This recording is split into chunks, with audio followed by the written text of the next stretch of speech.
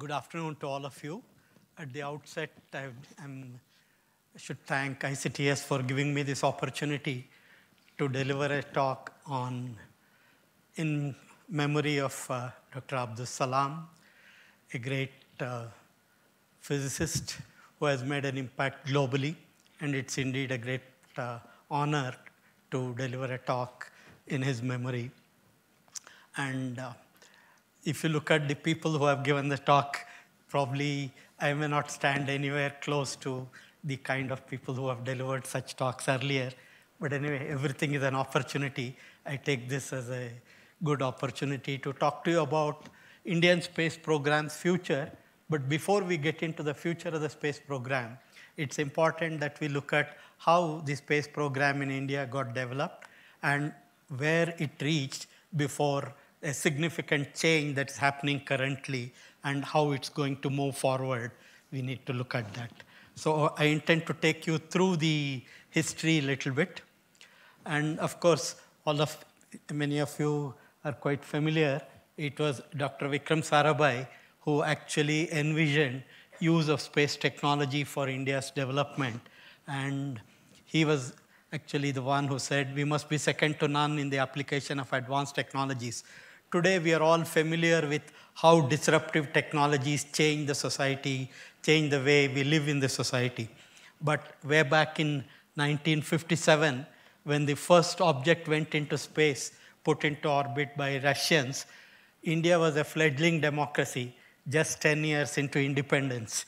And at that time, India had huge number of problems to solve, providing food for everybody and developmental activities.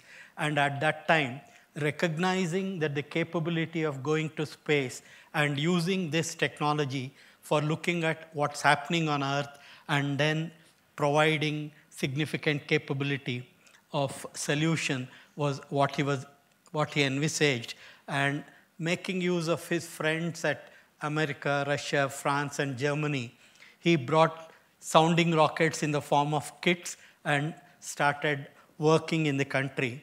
So this technology of uh, sounding rockets being brought, and in fact, the church, what you see, is the place where the first uh, sounding rocket got assembled and launched. And the activity started with convincing the scientists across the globe that we have a unique geomagnetic equator located near Thumba and conducting upper atmospheric research there is beneficial for the scientific community. And then what was demonstrated is by making use of the space technology, he convinced Americans that they should uh, allow us to borrow a satellite, what they had built, advanced technology satellite, and moved over to India for one year, and then using that, provide a capability. I'll just uh, run a small video here.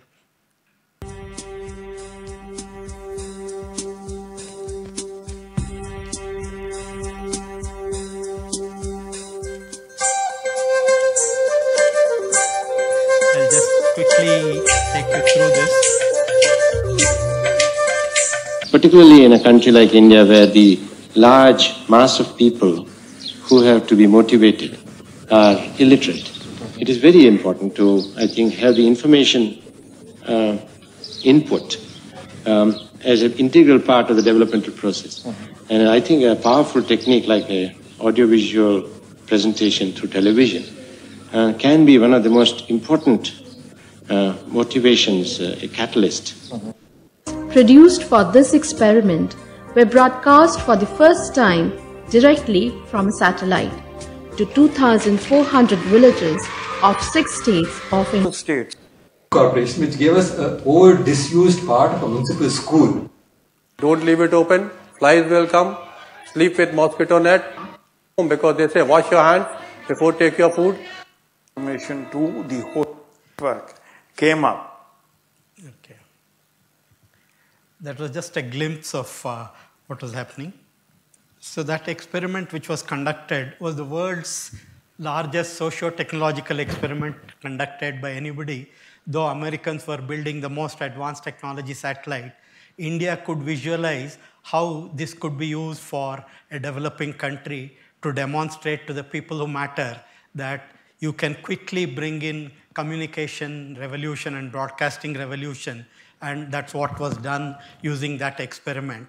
And another very important requirement for the country was the super cyclones. In the presence of super cyclones, we have tens of thousands of people losing their life. And to take care of that, nothing better than making observation from geostationary satellites. And today we have a capability of telling well in advance the location and the time at where the cyclone comes. And as a result of that, today we are able to save tens of thousands of people's lives because disaster relief agencies are able to evacuate the people well in advance. And this how the from 19, 2009 to 13, the kind of accuracy that's improving significantly. Today, you have reached less than 20 kilometers in error and half an hour in time in terms of prediction. Another very important thing that happened using the space technology was bringing in telemedicine and teleeducation network much before what you see today using the broadband communication, terrestrial communication. ISRO demonstrated and linked the people from remote places to super specialty hospitals and schools. And another very interesting aspect was when Dr. Sarabhai had to conduct the experiments of the sounding rockets in that Thumba, he had to convince the fishermen using the help of Bishop Peter Bernard Pereira that the fishermen should vacate the place and allow us to conduct that experiment. And one day in future, the country will benefit. Just as though to demonstrate what was said from 1999 onwards, by looking at the color of the ocean from the satellites and then identifying through that the chlorophyll and through the food chain of the fish where the fishermen can go for fishing. And today with our NAVIC satellite, we have gone one step further and a small battery operated gadget is fitted into the boat of the fisherman and using that an app on the mobile of the in the hands of the fisherman he gets video compass mode direction to where he has to go for fishing and he gets in his mother tongue updates on weather vagaries or if sea state roughness is going to be unbearable or even alerts on if he is approaching international boundaries. So all this it shows how the most advanced technology of a launch vehicle, satellite and its application helps a person who does not know reading or writing live his livelihood. We have more than million people across the seven and a half thousand kilometer long coastline. Today, using these satellites, you have a number of services, including the railway information system and many basic capabilities which have come for providing very many solutions. And then also you can imagine that the data collected from satellite over many decades serve to provide for environmental and climate studies and these data is available. And today by virtue of all the observations that you have, multispectral and hyperspectral observation, digital elevation model data collected from satellites, and using the navigation-based system, positioning systems, and using modeling and model techniques, the applications are provided in socio-economic security, sustainable development, disaster risk reduction, and governance. And the government made use of this capability and brought the information to the both administration of state and central governments uh, people and then ensured that the space technology gets into many planning and different uses. And as always, any new technology requires significant amount of effort in convincing the user community that what provisions you have made requires a significant handholding and then each user community takes its own time before adopting. While some are early adopters, some are late adopters. You can see Forest Survey of India started way back in 87, but then INCOIS in 99 and Airports Authority of India, which provides, I'll show you some of the slides on what it is doing. And then India also made use of this uh, space capability to provide transponder services to the neighboring countries. And then apart from looking at Earth, India also provided a number of scientific missions where it looked at Moon, Mars, and many of the applications that were possible. And lunar missions, if you look at Chandrayaan 1, 2008, though actually man had landed on the moon and a large number of instruments had made observation on the surface of the moon, Chandrayaan 1 gets the credit for discovering the presence of water molecules and the process responsible for water molecule formation and OH molecule formation there. And Chandrayaan 2, which we launched, is a significant improvement over Chandrayaan 1, where all the instruments are specifically designed for extending the capability. And we went ahead with that. And very soon you will have Chandrayaan 3 coming up. I'm rushing through some of these simply because the basic idea of today's talk is more on what is the future. But before we get into the future, I thought it will also be appropriate to just look at what has happened in the past.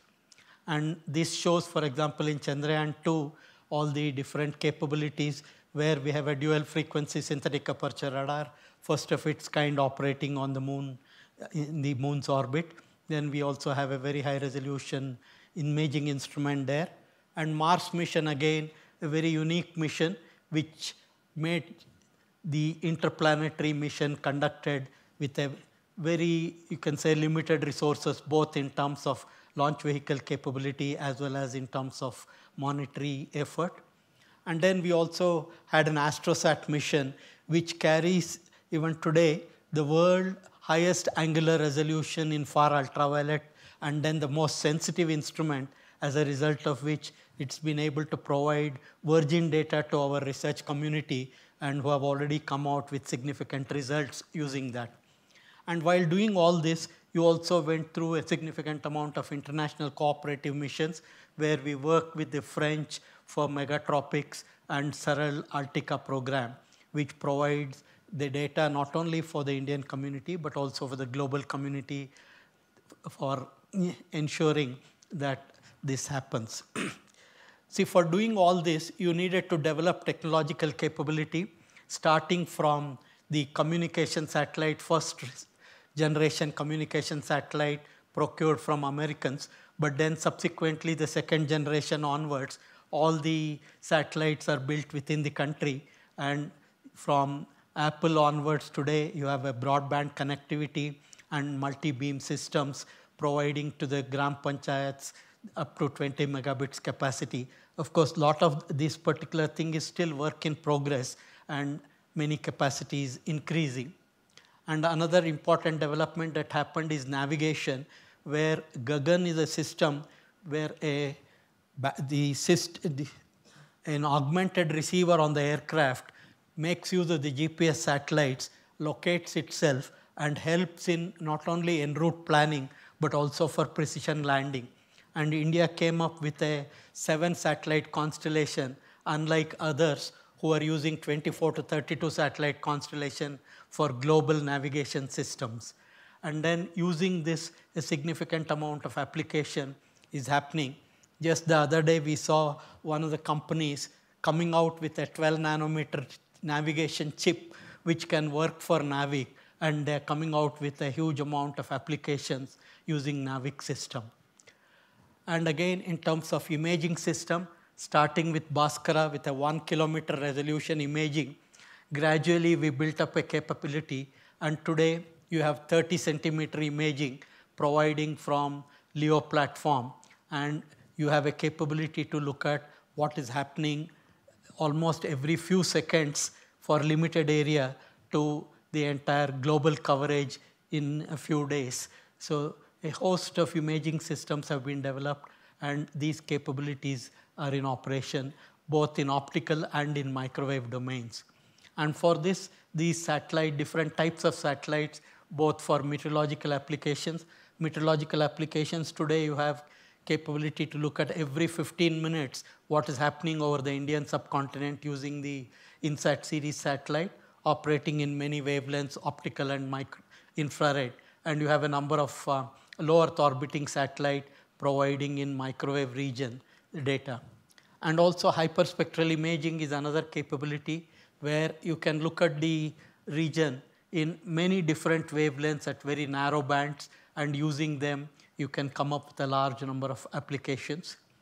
And then microwave is another capability where you can easily imagine between June and September, India is cloud full of cloud cover and what can you see from space in optical and infrared.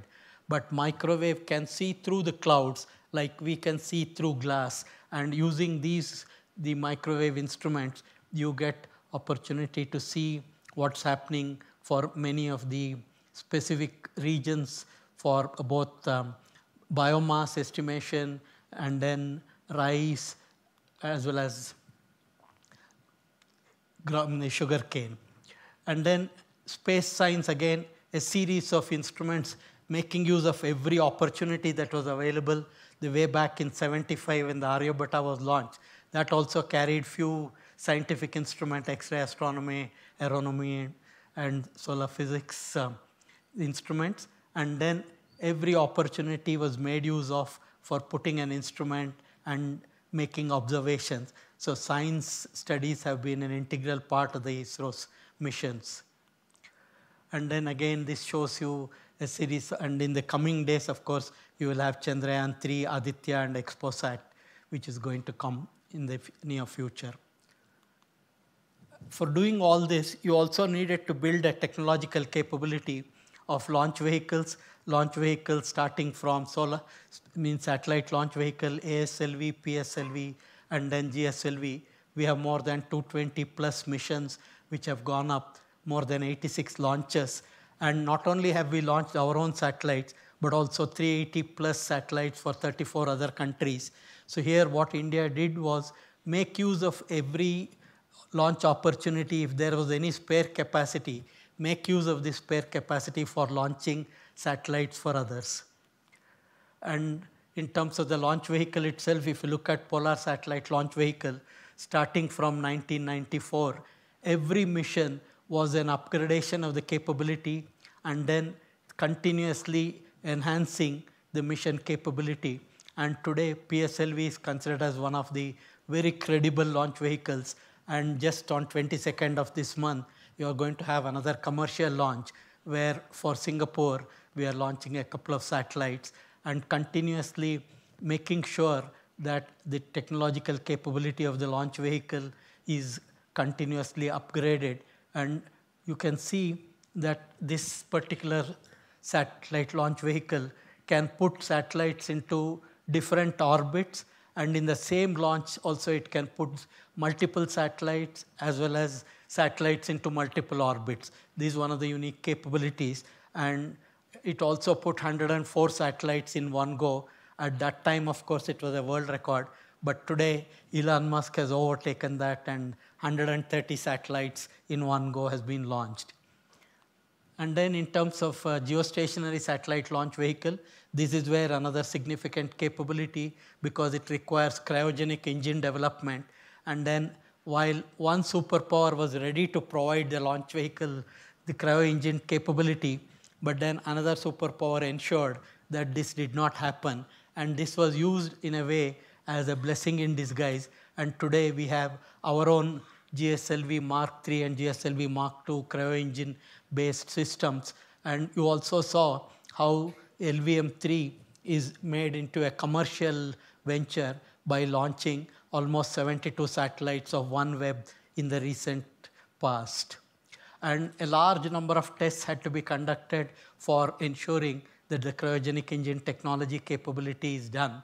So continuous development starting from sounding rockets way back in 63 with SLV, then ASLV, PSLV, GSLV, and now we have brought in another version which is the SSLV and two of them, the one successful launch has happened and one more is expected shortly. And in all this, making sure that the country's capability in space technology happens all the time, addressing the developmental needs of the country for bringing in infrastructure, in involving academia, and then industry has been the path taken by ISRO. And we are also able to develop a number of uh, chips using the 180 nanometer technology at CMOS fab at Chandigarh. And then we also make use of a number of uh, computational systems set up across different centers for various applications. And then another key thing that happened is while India needed to develop the space technology of the launch vehicle. More than 80% of the actual fabrication of the launch vehicle, even in the earlier times, actually happened in the industry. And this shows you in a nutshell how this technological capability is enabled in the country using the industry. And then a large number of uh, material development and indigenous capability, national capacity building, particularly for the ultra high strength steel material, which is one of the backbone, the maraging steel developed in 1982. And then you can see hypersonic wind tunnel facility established and then where large number of tests were conducted, scramjet testing, and these facilities are established in Trivandrum. And then many facilities for doing propellants and chemicals, liquid hydrogen plant at the industry. And then again, this shows a number of uh, different components using, for example, titanium sponge being developed, copper alloy melting facility, and many of them. And then in addition to that, building a multi-object tracking radar for observation, then thermal vacuum facility, vibration facility. India had the highest resolution imaging capability in the world, not in the military domain, but only in civilian domain. Similarly, Mars orbiter mission demonstrated how you, with limited resources you can do planetary missions. And then Astrosat, again, showing that the Indian academic institutions can build telescopes of very significant capability. Of course, this is just a, a uh, similar thing, right use of enabling technologies. And this is how all the development took place. And then by this time, of course, the country also in terms of economic strength had developed. So the government wanted that the human space program be done before the 75th year of independence. But then COVID and the financial constant, other uh, availability constraints have pushed it slightly beyond but work is in progress on this uh, human space mission. And today, this is going to provide a significant capability in the country. I'll touch upon that a little more. See, while we were doing all this from the 60s till 2020, world is also moving ahead. And then today, the it's no longer the only nation states which are conducting space activities A lot of private entities are also getting into the space business. And as human beings conquered land, ocean, and airspace, now he is looking at conquering space itself. So you are looking at space tourism, space adventure, space habitats, and then going beyond planet Earth is becoming a significant activity. And huge number of private companies are getting into space business. And then just to look at 21 and 22, how things have changed drastically. In 2021 itself, almost 145 orbital launch attempts had happened, and 989 Starlink satellites and 284 OneWeb satellites got launched. And then unprecedented number of spacecrafts were deployed during 2021. 1730 spacecrafts, which is more than 29% from the previous year's version. Similarly, in 22 also, the number further increased into 186 launches, and then USA being the leading launch uh, agency with um, China closely following that. And then even to space station mission, a number of such uh, programs were done. And then the, you had a large number of Starlink satellites which went up. And then SSLV also was part of the new development in the, that year. China launched its first methane fueled rocket. Then private space agency got its first stage booster using a helicopter. SpaceX performed first all private crewed flight to ISS.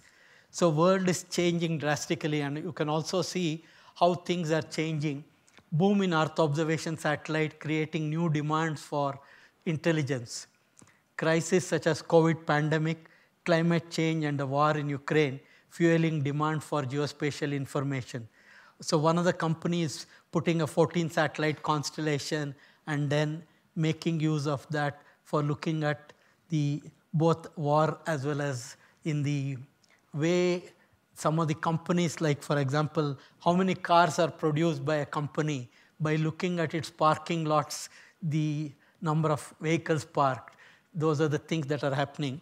And while weather monitoring also happened to be earlier in the domain of only the nation states conducting activity, today there are private companies looking at building private constellations to provide weather information.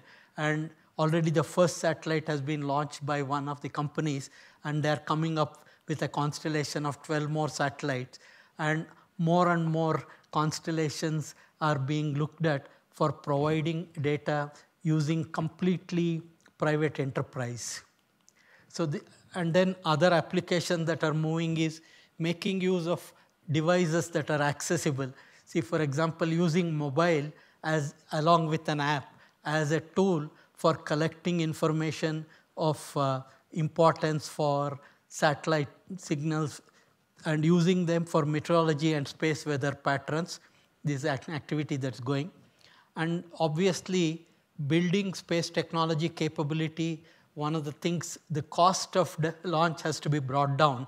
And Elon Musk demonstrated in a very significant way how the first stage can be brought back and means put back in a very precise manner and through that process make use of them for relaunching the, the stages and reducing the cost of the satellite launching. And then obviously when more and more objects are in space, the life of a satellite gets exhausted after the fuel you carry in that becomes exhausted. And there are companies which are setting up space stations and then who will go and actually refuel the vehicle, other satellites. And then more and more such companies are already looking at how to build and make them happen.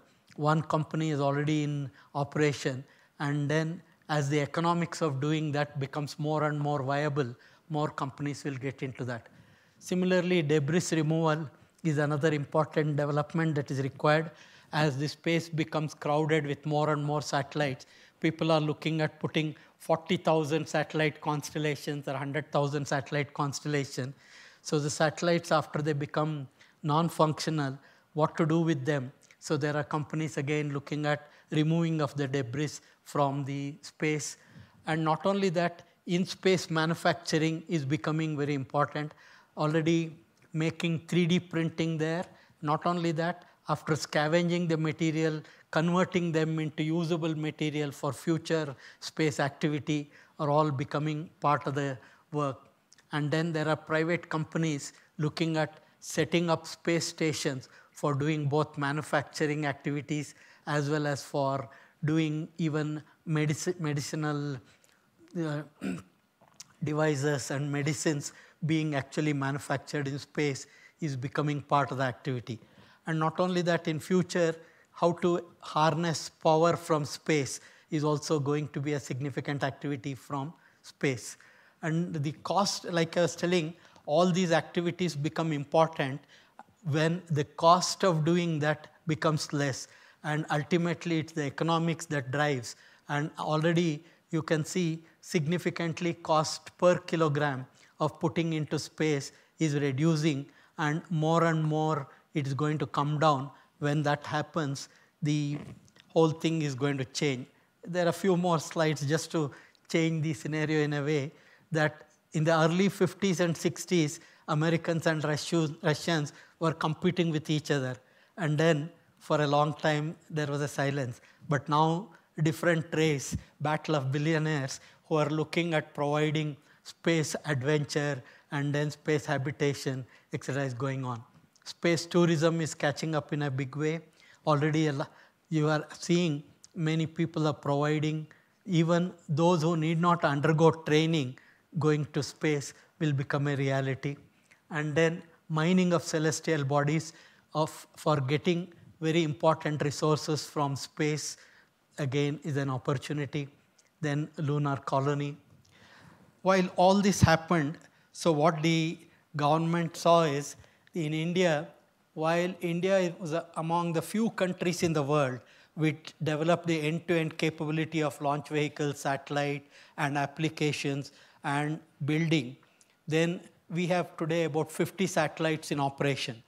But then the capability is demonstrated, but what is needed is capacity. Today, as the, with the kind of neighbors we have and the various space-based activities that are needed, we may require probably 200 plus satellites providing us capability in all communication, navigation, Earth observation, and all that.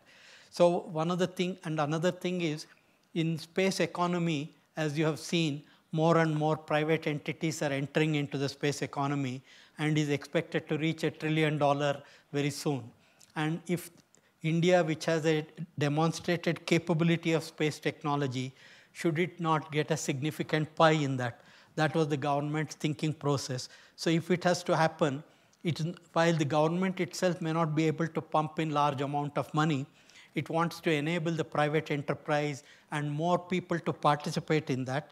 To make it happen, India brought in space reforms, and this is where the sector, space sector reforms which came up unlocking India's potential in space sector, going from the demand-based approach using our New Space India Limited and IN-SPACe. I'll show you some details of what is being looked at in this particular case.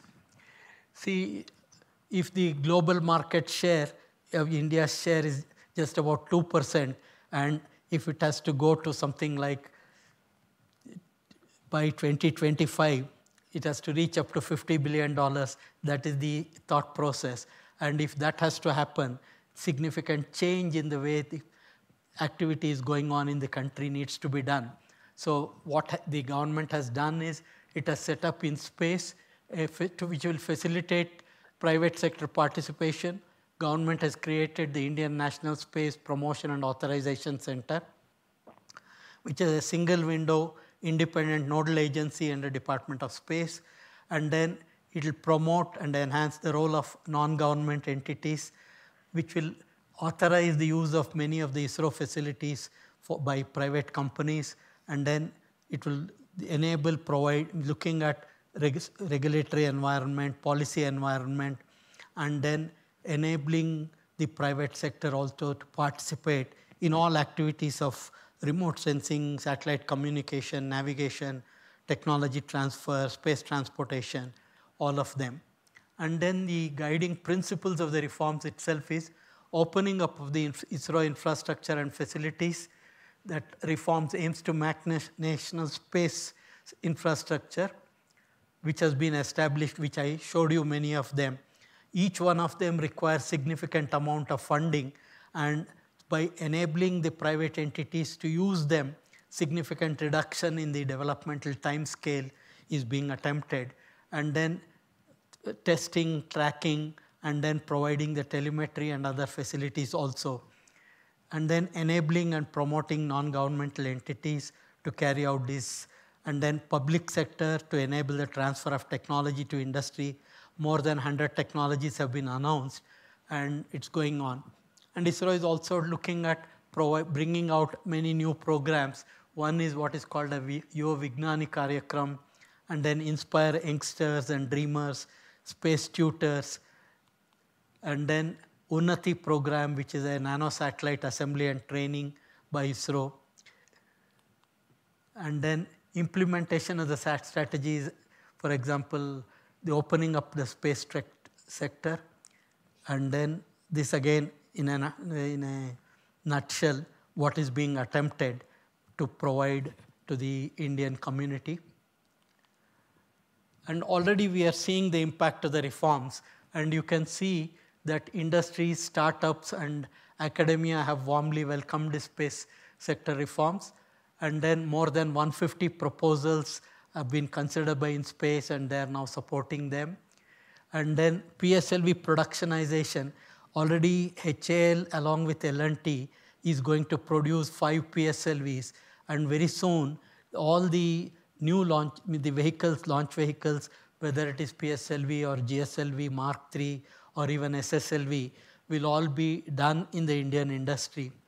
And then human resource development, of course, is a very important aspect and capacity building commission is also working with ISRO on doing these activities. And then you can see that in OneWeb, we already put in the last six months, 72 satellites of OneWeb company has been actually launched. In fact, you can see here how quickly India was able to take advantage of an opportunity in the uh, Ukraine-Russia war. Satellites were sitting on the launch vehicle, ready to be launched. But then, because of the war, Russians were not going to launch the satellites, and OneWeb was looking for an alternate. And one of our new launch vehicles, which had not been used for a, putting multiple satellites into orbit, was tweaked, and we were able to put 72 satellites successfully into commercial, on a commercial basis. So this is one of the things that happened. And already a private company has launched its first stage, and then they call it as Mission Prarambh. And this is Skyroot Aerospace has done this. And another company which is actually setting up a facility in um, Shar and also a 3D printed engine they are testing, Agnikul. So you can see a significant amount of uh, privatization is already taking shape. And we also did recently RLV LEX mission, see our own effort to ensure that the cost of launching comes down. Of course, these are all still at a very preliminary stage. So successfully demonstrating the safe landing after releasing from one of the helicopters was demonstrated a few weeks back. And of course, if you just look at immediate future, what is going to happen, ISRO is working with NASA for a mission called NASA ISRO Synthetic Aperture Radar. And this is the already the payload has reached Bangalore. It's getting integrated with the satellite and the integration and all the other tests will be completed during the course of this year. And earlier next year, this is going to be launched. You will be happy to know that the simulation and system providing the simulated data for this mission is being done using a payload which is very similar to our Chandrayaan-2 SAR, L&S band SAR, and that instrument flown on an American aircraft in North America and India, it's collecting data to provide simulation images for this. And Aditya L1 is again getting ready and we are going through a series of mission readiness uh, discussions coming week. And this one is going to provide a unique opportunity of a satellite being at a Lagrange point, looking at sun 24 by 7 and providing a unique observational capability. And then national collaboration, engaging all the various institutions and various ground agencies across the disciplines is part of the effort that is being done. And particular, this also you can see the system demonstration model is ready. And uh, this year and early next year, there'll be all preparatory tests conducted for human space mission. And a large number of tests are expected to be conducted towards this. And this will also provide platform for a number of uh, microgravity experiments and here again, we are making use of not only these platforms, but also the spent stage of PSLV for conducting many microgravity experiments. And then, like I said, uh, next, later this week, this mission is going to get launched. Of course, this is one of the images from our OceanSat, which is now able to take the image of the total globe and then I'll end my talk with a couple of uh, quotes from Dr. Sarabhai. The important ingredient for satisfactorily meeting the challenge of the changing environment is not experience, but an ability to learn. Experience is less relevant than knowledge and the ability to learn and innovate. And then technology is not an objective to be aimed at, but a tool to be used for the benefit of common man. And then Sarabhai's vision on the development of space technology and its extensive use. So while in the earlier era, we, the Space, Department of Space was doing exclusively the activities, now Department of Space is looking at providing to the entire country whatever technological capability that has been developed, enabling and empowering more and more participants, and through that, India becoming a significant player in the coming days in the space economy. And what is expected in future is the more and more private entities getting into that and feeding into the India's economy as space economy itself is like we talked about a trillion dollar economy. And we are looking at reaching 10 to 20 percent of that through what is happening in the country. That is where the space technology in india is heading. Thank you very much for the patient hearing and i'll be more than happy to take any questions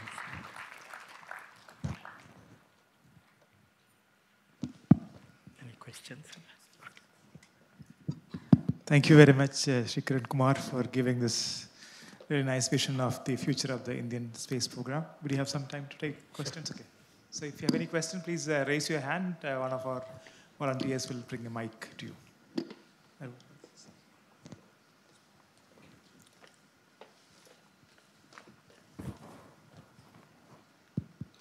Recent, recently, there was a news item on reusable launch vehicles, uh, and uh, you also mentioned that.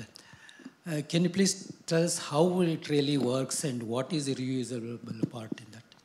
Okay, so what we are doing in the reusable launch vehicle is for an orbiting component coming back and landing, and then the orbital component to be used again and again. So that is the one what we have done, both in terms of the recent experiment of landing on a runway. So this is, an, later what will happen is you will have an element which is putting things into space, orbit, and then from orbit it will come back, enter atmosphere and get in. So that is the version what we have attempted. But others have attempted even the first stage also being um, brought back. And in fact, Elon Musk has already demonstrated and used it multiple times. Already he has used stages. But our own launch vehicle first stage, the significant component is a solid motor and that is not amenable for reusability because even if you bring back what you get is only the casing.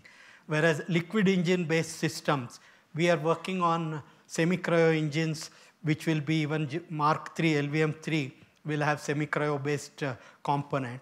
And those things, the advantage will be when you get back, you can refuel and use them again.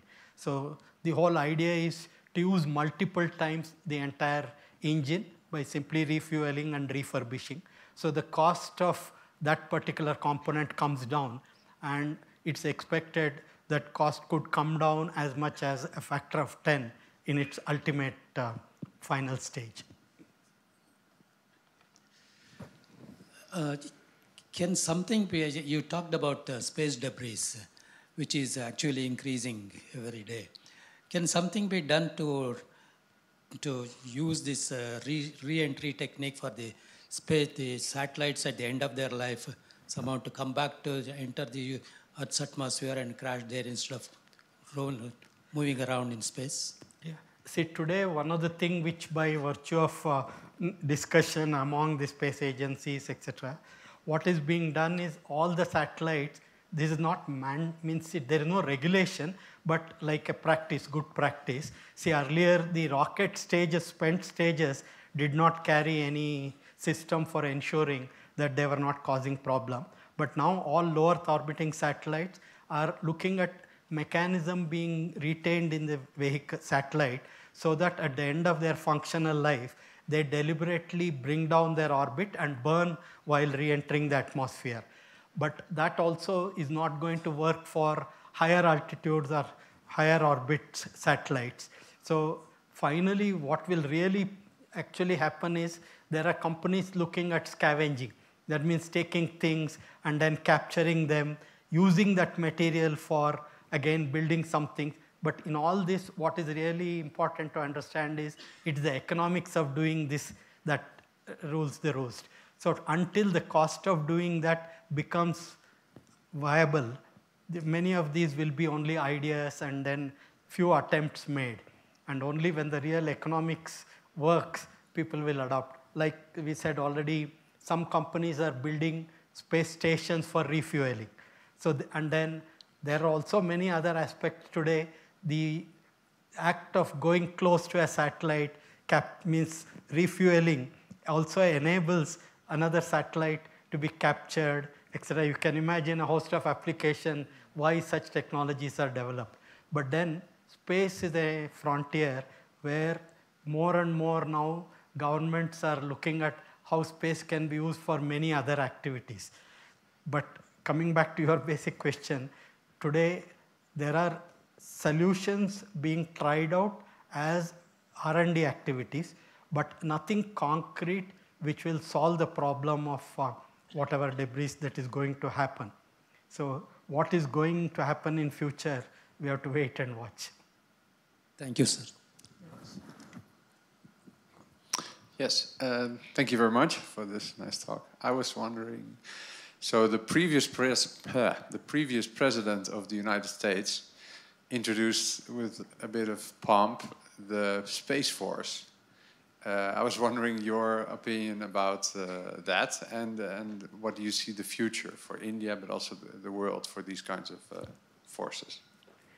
Yeah, um, I think what we have seen across from the past every new capability that researchers and scientists and technologies come up with, every new capability in the hands of those who want to use it for domination, they use it. There are others who look at using those capabilities for bringing in benefits, mitigating problems, etc. So this is a continuous conflict. I don't think we have an answer to the situation that will emerge space by virtue of the way it is developing with more and more private companies entering. Already you have seen even those countries which do not have any space activity giving licenses to companies for going and actually mining on asteroids and appropriating the thing. So what is likely to happen is still those who build the capability will dominate. That's what I feel. Is this a, a concern that uh, how Yeah, the space? Like, so, is there any worldwide effort to somehow No, this regulate effort is this? always, all the time there.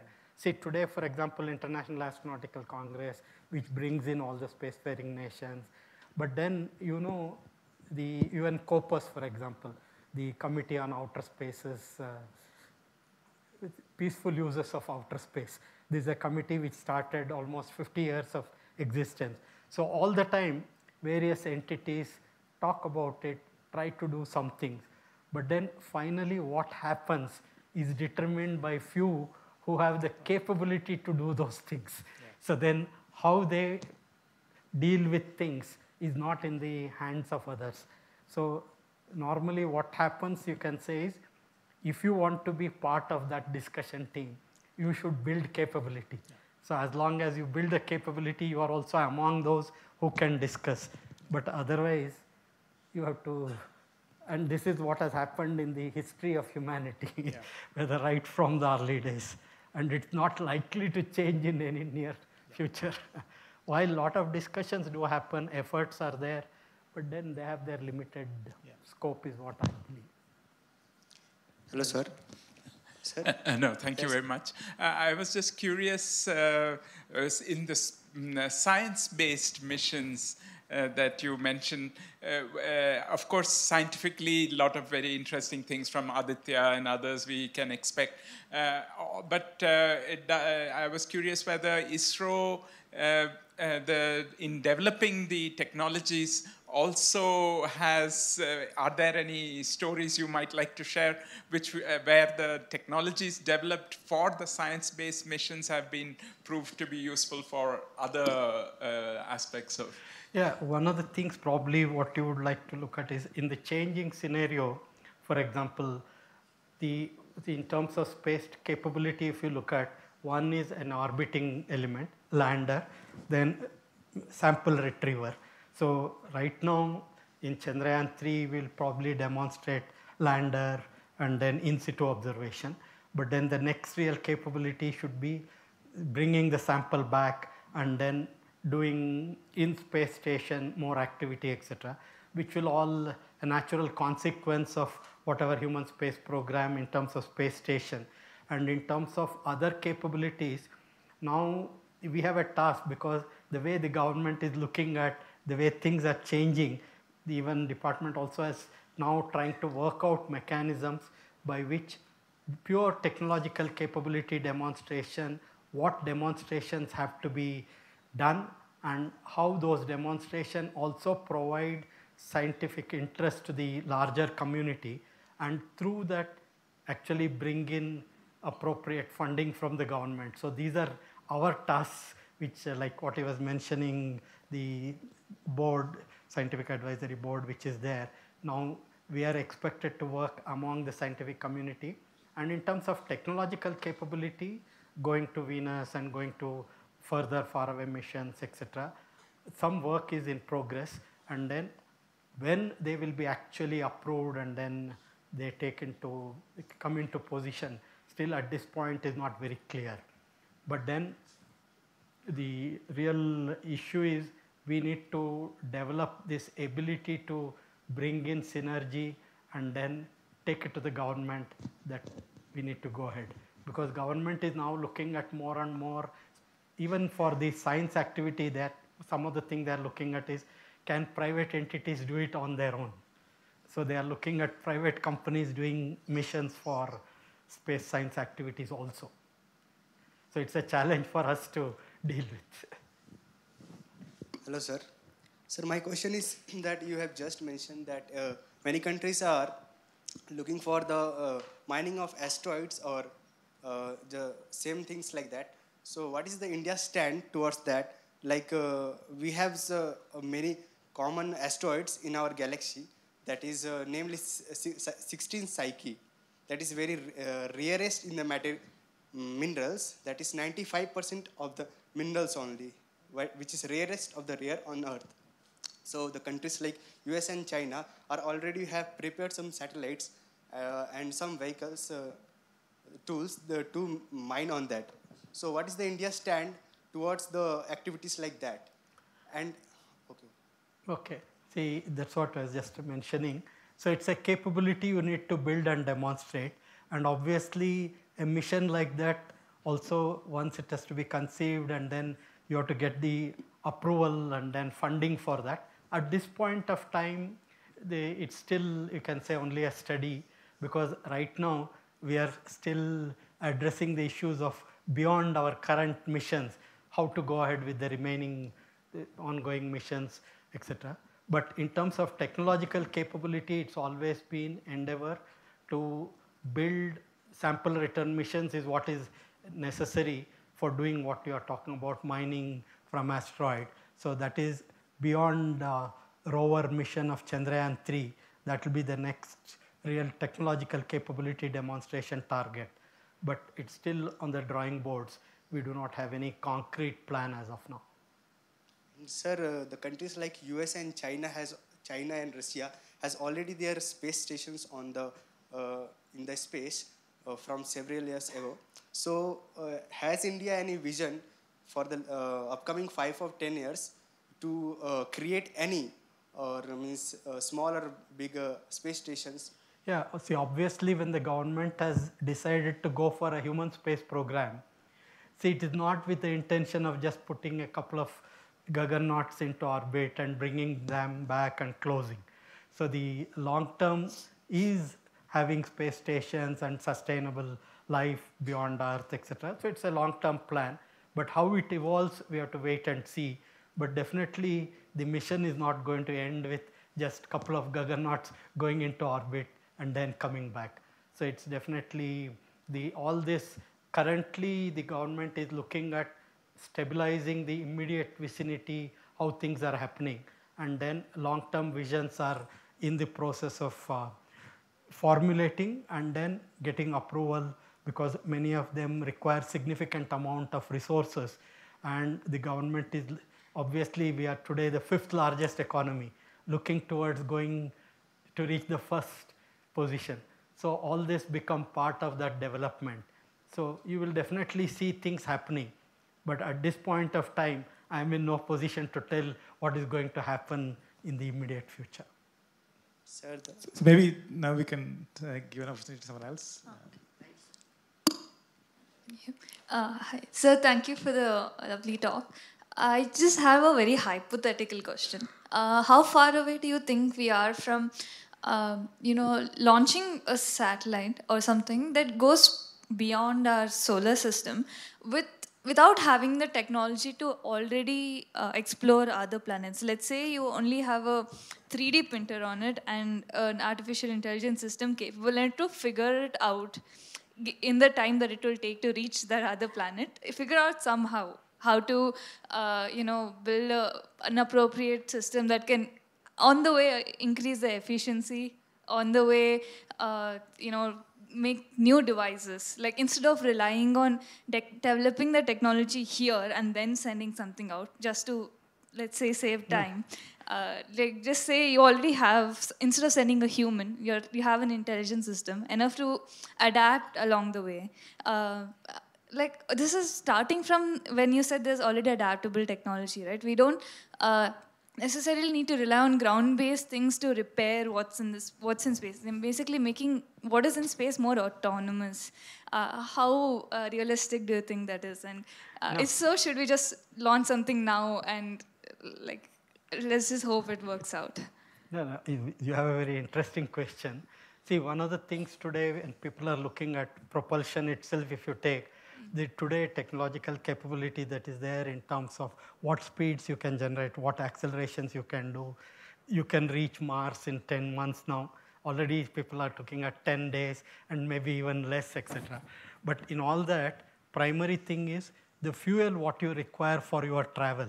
Right. If that fuel you have to carry from ground launch, obviously it's going to be huge and it's going to be a deterrent.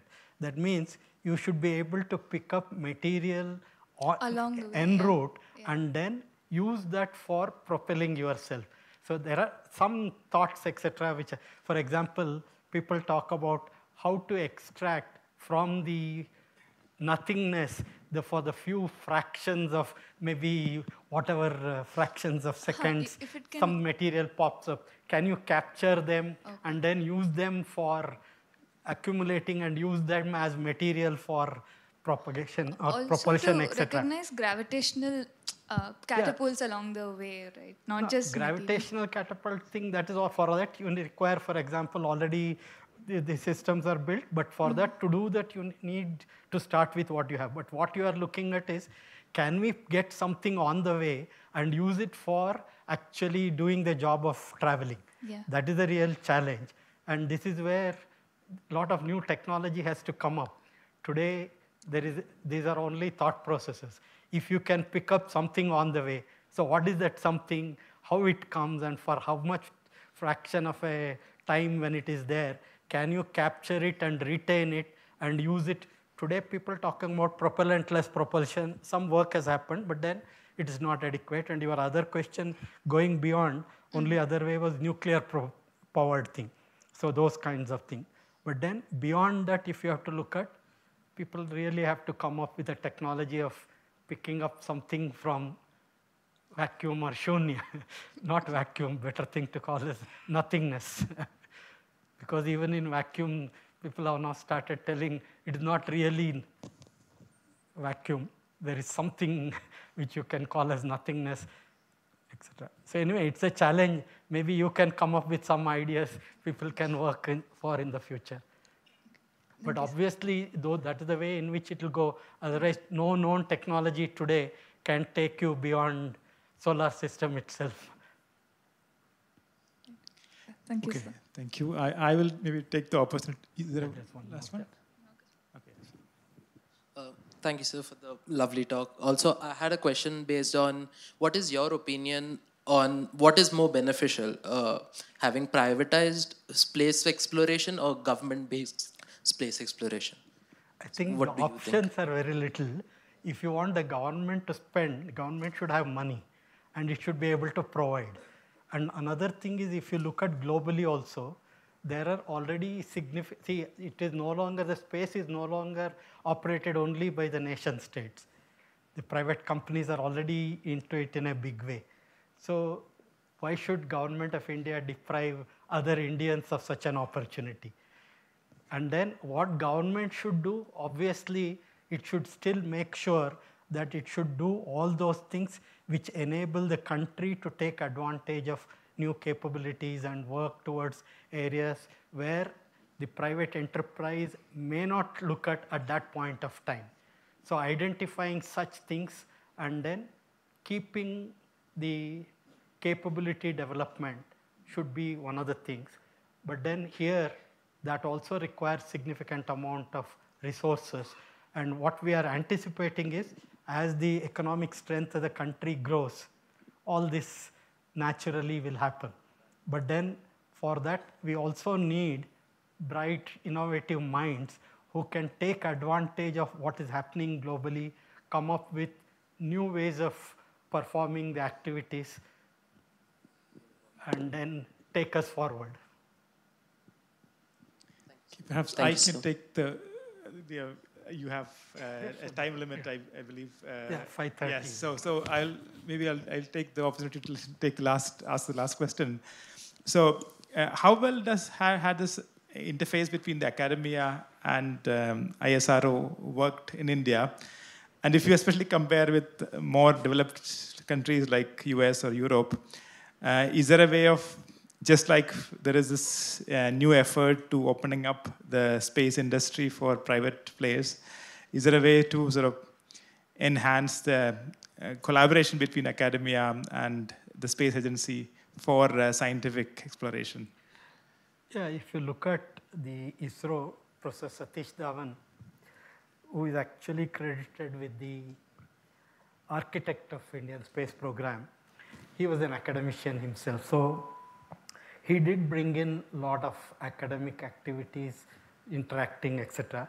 But then over a period of time, things uh, did not come up to the expectations of both.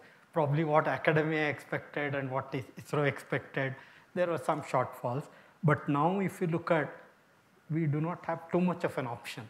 See, already just yesterday I was in a place where one of the companies, private, no, not company, private entities, Hindustan University, they have set up already a ground station and they're receiving and they have tied up with Skyroots and they are already doing actually memorandum of understanding with all the startup companies in India. And IIT Indore is setting up astronomy, astrophysics, and space engineering. So now in the country, in the new education policy, also making sure that you have more and more experiential learning becoming a necessity. The tying up with the startups, etc., is happening.